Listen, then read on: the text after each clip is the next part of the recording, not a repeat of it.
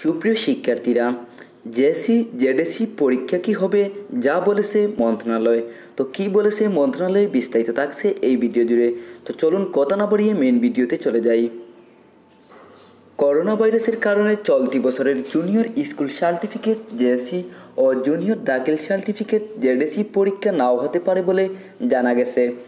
তবে এ বিষয়ে এখনও চূড়ান্ত কোনো সিদ্ধান্ত গ্রহণ করেনি শিক্ষা মন্ত্রণালয়।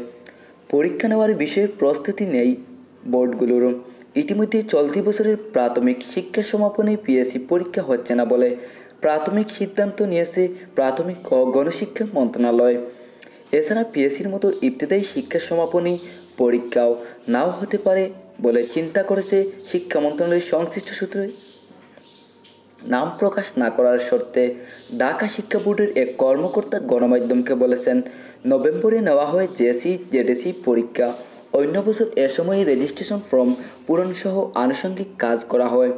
প্রশ্নপত্র তৈরি ও মৈদান কাজ শুরু হয়।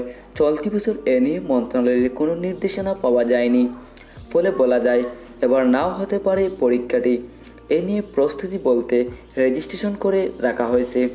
শিক্ষামন্ত্রী ডাক্তার দীপুমণি ইতিমধ্যে ইঙ্গিত দিয়েছেন, চলতি বছরের জুনিয়র স্কুল সার্টিফিকেট জেএসি ও জুনিয়র দাখিল সার্টিফিকেট জেডেসি পরীক্ষা নাও হতে পারে। করোনার কারণে এ চার পরীক্ষা গত বছরও নেওয়া হয়নি।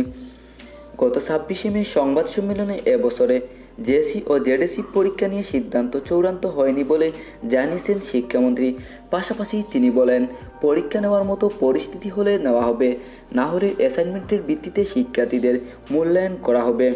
এদিকে পিএসসি পরীক্ষা না নিয়ে এর পরিবর্তে বাড়ির কাজ দিয়ে শিক্ষার্থীদের মূল্যায়নের মাধ্যমে নতুন শ্রেণীতে তোলা হবে। অটোপাস দেওয়া হবে না। এবার সরকারি সর্বোচ্চ পর্যায় থেকে সম্মতি পেলে এ বিষয়ে চূড়ান্ত সিদ্ধান্ত জানানো হয়েছে। শীঘ্রই প্রধানমন্ত্রী শেখ হাসিনার কাছে এ সংক্রান্ত সারসংক্ষেপ পাঠানো হবে। গণমাধ্যমকে এ তথ্য নিশ্চিত করেছেন প্রাথমিক ও গণশিক্ষা প্রতিমন্ত্রী মোহাম্মদ জাকির হোসেন।